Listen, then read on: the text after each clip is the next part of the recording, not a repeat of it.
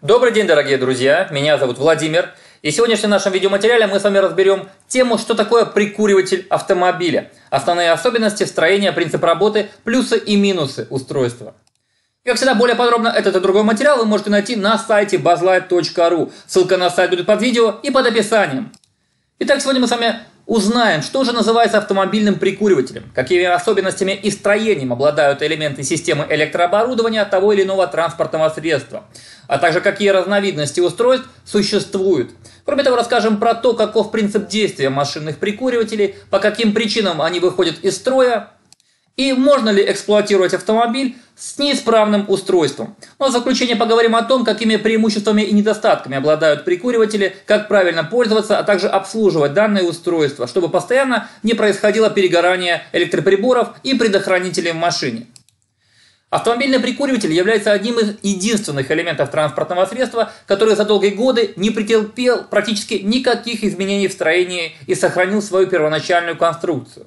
Самое интересное, что если даже вспомнить старые добрые советские автомобили и теперь представить современные модели машин, то как в тех, так и в других применяется одна конструкция данного элемента. Однако различия прикуривателя в советских машинах и современных все же небольшие есть. Заключается это отличие в том, что сегодня прикуриватели выполняют Множество функций, например, используются как разъем для автомобильных гаджетов, навигатора, видеорегистратора и прочих устройств, а также пуска заряда автомобилей и многого другого.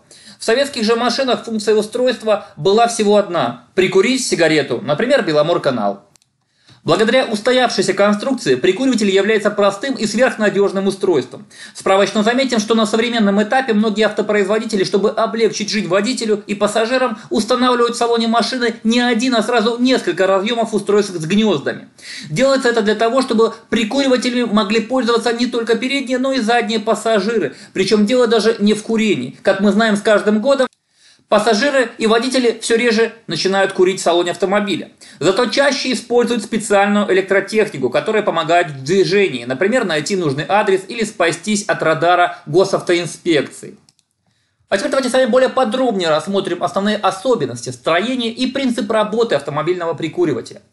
В первые годы установки прикуривателей на советские машины автопроизводители делали эти компоненты сугубо для прикуривания сигарет прямо из салона автомобиля. Однако изготовители даже предположить не могли, что прикуриватели через какие-то 30-35 лет будут использоваться не по своему основному назначению. Как видим из названия устройства, отцы-создатели компонента электрооборудования автомобиля закладывали в прикуриватель именно прикуривание сигарет и ничего более. Справочно заметим, что с самого начала установки устройств машины они не получили у автовладельцев должной популярности, так как курящие все равно использовали спички или зажигалки, а для некурящих эти элементы были просто незачем.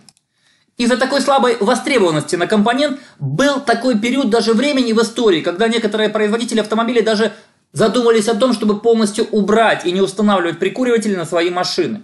Но так сложилось, что на рынке автомобильных электрических аксессуаров появилось много гаджетов, которые и спасли прикуриватели от вымирания. Дело в том, что почти всем современным автомобильным аксессуарам, на примере того же навигатора, нужна розетка чтобы питаться бортовым током. Прикуриватели для снабжения током устройств подошли просто идеально. Вот поэтому сегодня на многих автомобилях можно найти в салоне не один прикуриватель, а даже два, а то и три. Что касается современных прикуривателей, которые мы их знаем сегодня, то они были запатентованы еще в далеком 1925 году. Однако впервые на машинах они стали использоваться только в 50-х годах 20 века. Так вот, именно с 50-х годов конструкция прикуривателя ни разу не менялась, только слегка изменялся внешний вид устройства. Можно смело сказать, что на данный элемент, который относится к системе электрооборудования автомобиля, технический прогресс никак не влияет. На сегодняшний день большинство автомобилей штатно оснащаются прикуривателями, причем как минимум одним. Даже если в купленной машине установлено устройство только с одним гнездом, а нам необходимо как минимум на два выхода, а то и три, то не составляет никаких проблем сегодня мечту эту осуществить. Для этого можно приобрести даже самый недорогой разветвитель прикуривателя и из одной розетки сделать столько гнезд, сколько нам надо. Какое же строение имеет прикуриватель и как он функционирует? Как мы отмечали ранее, конструкция и строение прикуривателя, что не есть самое простое, даже ребенок в нем разберется. Основа устройства – это его металлический патрон, который оснащается кнопкой и рукояткой, изготовленной из пластика. Внутри металлического патрона размещается специальная спираль, изготовленная из такого материала, как нихром. Место расположения прикуривателя в салоне автомобиля, что не есть самое разнообразное, но зачастую его можно найти возле приборной панели или около центрального подлокотника между передними сиденьями. Прикуриватель, как правило, выглядит в виде круглой розетки с выемкой. Принцип действия устройства таков, что когда мы вставляем в гнездо, она же розетка, пластиковую рукоятку и нажимаем на нее, то она автоматически подключается к электрической бортовой сети машины. А далее происходит следующее. Положительный контакт от бортовой сети подается на клемму, которая расположена по центру гнезда, и на спираль или штекер подключаемых приборов. Что касается отрицательного контакта, то он идет на цоколь или на прижимы штекера. Когда мы используем прикуриватель через нехромовую спираль, то он начинает нагреваться благодаря тому, что через него проходит электрический ток. Когда достигается максимальная температура на спирали, то автоматически срабатывает специальное термореле, и прикуриватель отключается от электрической сети автомобиля. Таким образом происходит перевод прикуривателя в первоначальное положение, и при помощи звукового щелчка пользователь устройства предупрежден, что рукоятка нагрета до нужной ему температуры. С целью защиты разъема прикуривателя автопроизводителями применяется штатный предохранитель, который зачастую рассчитан на напряжение в 10 ампер. Как правило, предохранитель прикуривателя располагается со всеми другими защитными элементами в блоке предохранителей, которые находятся в салоне автомобиля. Чтобы было проще искать нужный предохранитель в блоке, производитель всегда помечает такие элементы маркировкой SIGA или в виде обычного рисунка сигареты. Таким образом, как видим, кроме спирали или цоколя прикуривателя и его предохранителя, в устройстве просто нечему больше ломаться. Зачастую предохранители работают дольше, чем любое другое электрооборудование автомобиля. Ну а теперь давайте с вами подробно рассмотрим плюсы и минусы, которыми обладает прикуриватель. Основные причины неисправности – что касается плюсов, которые имеет автомобильный прикуриватель, то в основном все они относятся к гнезду устройства. Главным достоинством гнезда является его универсальность применения, благодаря чему к нему можно подключать огромное количество всевозможных электроприборов, начиная от зарядки для смартфона и заканчивая навигатором или видеорегистратором.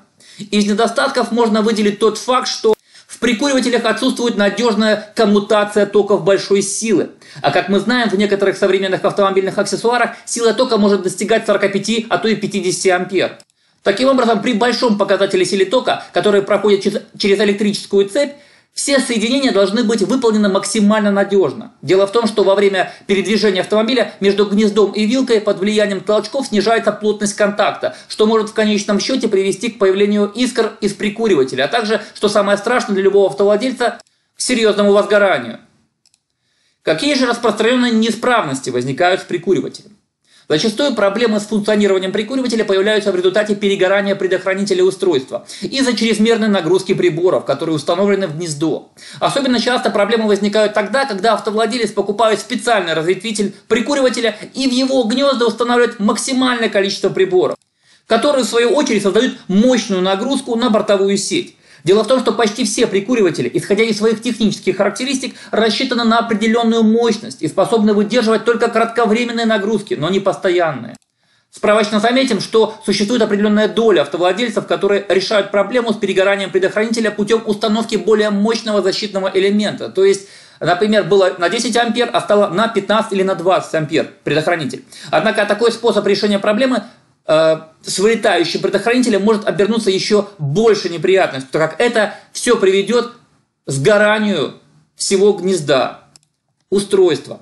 Для того, чтобы не допустить перегорания предохранителя и гнезда прикуривателя, нет необходимости подключать к нему приборы, штекеры которых собраны неплотно.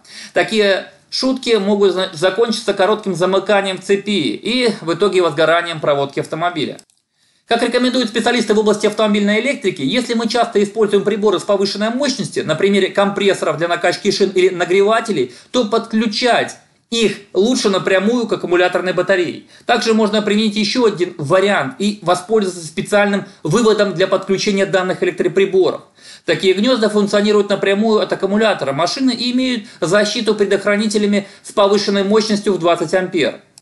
Ну и в заключение отметим, что автомобильный прикуриватель является незаменимым элементом салона любой машины, который дает возможность пользоваться всевозможными электроприборами, облегчающими жизнь водителю и пассажирам. Однако пренебрегать правилами пользования прикуривателями не стоит, так как нередки случаи возгорания проводки бортовой сети из-за перегрузки цепи различными электрическими устройствами.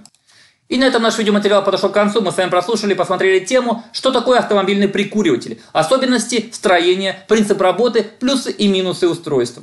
А более подробно данный материал вы можете найти на сайте bazlight.ru. Ссылка на сайт будет под видео и под описанием. Если у вас есть вопросы, предложения или пожелания, пожалуйста, присылайте их нам на наш YouTube канал или оставляйте на нашем сайте. Мы обязательно их рассмотрим и ответим. Большое спасибо за внимание, берегите себя и всего вам доброго на дорогах. Amen.